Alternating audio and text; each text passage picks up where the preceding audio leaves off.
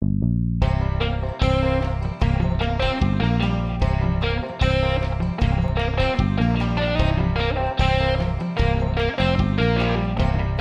saya mengucapkan selamat atas penganugerahan Dr. Honoris Causa untuk Bapak Muhammad Iskandar, sahabat saya sejak lama.